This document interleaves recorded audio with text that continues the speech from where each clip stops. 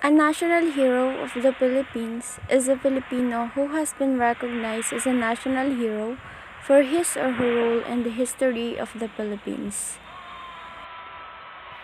Heroes are those who have a concept of nation and thereafter aspire and struggle for the nation's freedom.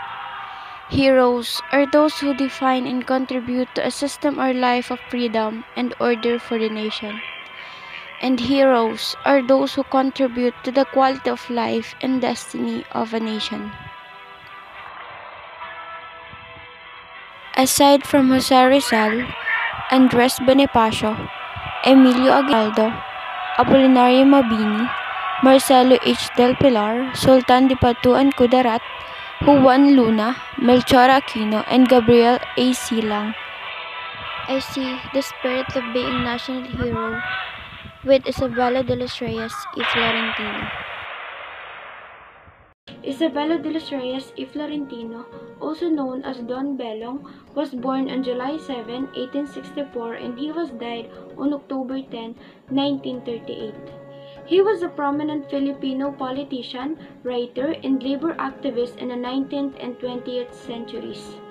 He was the original founder of the Iglesia Filipina Independiente, an independent Philippine National Church.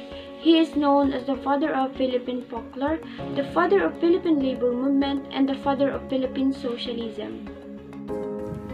I considered him as a national hero because throughout his life, he wrote and published multiple works in various subjects such as history, folklore, politics, and religion. The best thing about Isabelo he recognized the value of the labor in our country by recognizing the first labor union, which is Obrera Democratica Filipina.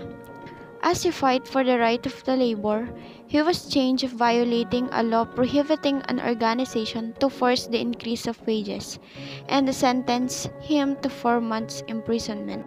I admire his bravery and spirit of generosity by pursuing the labor union and see the substantial effort of a Filipino workers. I really acknowledge all the laborers here in our country who have an amount of physical, mental, and social effort used to produce goods and services in an economy. It simply means that without hard workers' labor, our economy cannot grow further.